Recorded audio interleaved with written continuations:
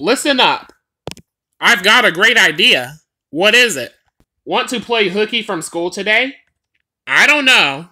We could get into trouble. You sound like my mother. I'd rather be saved than sorry. Now you're beginning to sound like my dad. One, two, three. Ha! I will always love you, Jack. When I go to college, I'm getting a degree in business. Then I'm gonna start the best company ever and get paid lots of money. Like $50 a day. Okay, this is a good one. Hello? Hey! No, I haven't heard about it. Oh no!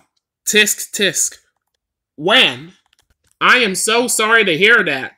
No news is good news takes on a literal meaning at a certain age. Molly, is that John Stahl in the other room with Moose? Yes, they were classmates. That's Molly's mother. She's a big help to us. Moose, come fix the toaster. One hour later, I fixed it, babe. It works fine now. No, it doesn't. We have new recruits outside, sir. Why did you join the Legion? I joined to escape the news. Good reason. And you.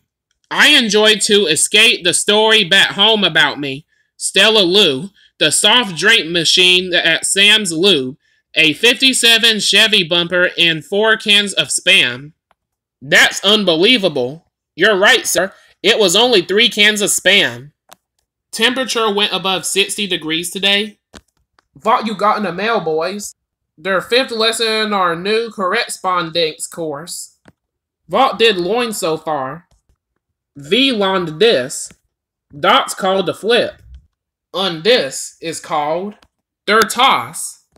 Next week, we learned their step off or toe hold.